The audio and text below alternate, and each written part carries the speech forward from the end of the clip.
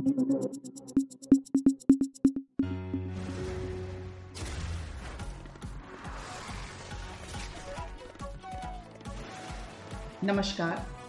मैं ज़िलाधिकारी गोंडा। आप सबको इस वीडियो मैसेज के माध्यम से ये अवगत कराना चाहती हूँ कि कतिपय संगठनों के द्वारा कुछ भ्रम की स्थिति उत्पन्न की जा रही है और इससे जनमानस में एक असुविधा का भाव उत्पन्न हो रहा है। कुछ आईपीसी के सेक्शंस में बदलाव को लेकर गलतफहमियाँ और भ्रामक सूचनाओं का संचरण सोशल मीडिया और मीडिया रिपोर्ट से ज्ञात हो रहा है।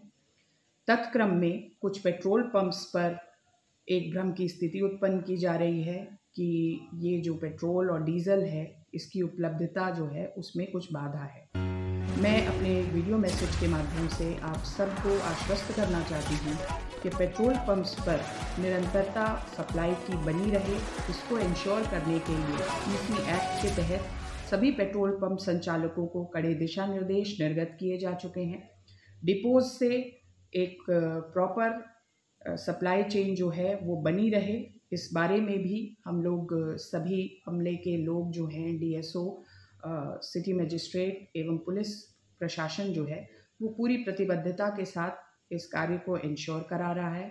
साथ ही साथ में पेट्रोल पंप संचालकों और जो अनुबंधित टैंकर्स हैं, उनका भी इसी एक्ट के तहत एक दायित्व बनता है कि वे इसके प्रोविजंस को अमल में लाएँ।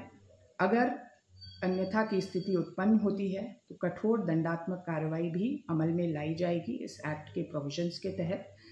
अतः पुनः मैं इस बात को रिट्रेट करना चाहती हूँ कि इस भ्रम की स्थिति से, हो रही असुविधा से लोग बचें और इस तरीके की कोई भी जो असुविधा है, भ्रामक सूचना है, उसको खंडन करते हुए ज़िला प्रशासन गोंडा इंश्योर कर रहा है कि किसी भी प्रकार का जो असुविधा लोगों में व्याप्त है, वो ना हो।